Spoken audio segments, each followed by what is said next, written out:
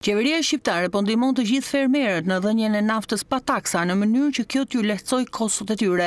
Kështu u shpreh drejtuesi politik i Partisë Socialiste për qarkun e Fierit Taulant Balla gjatë një takimi elektoral në Ballagat ku theksoi se Eriselda Sefa të ishte e votuara e tyre për zgjedhjet e pjesshme lokale të gjashtë marsit në Lushnje. Natyrshëm, me dy mijë lekë litri i naftës sot nuk ka familje që e përballon dot që të punojë tokën me dy mijë lekë.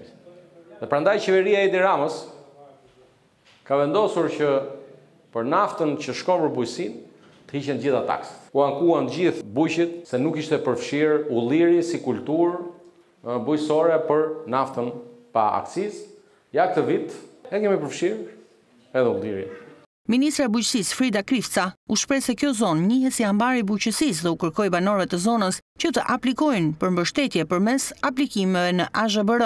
Këtë vit ne kemi një masë të mbështetjes për prodhimin në sera, sepse serat kanë treguar që na japin prodhimet e duhura me standardet e duhura dhe janë të fokusuara drejt eksportit për perimet. Unë jam e bindur që Eriselda e ka të gjithë informacionin e mundshëm, e ka të gjithë aksesin e mundshëm se si t'jua bëjë këto programe shumë më të aksesueshme, ndaj ju duhet ta votoni me datën gjashtë mars.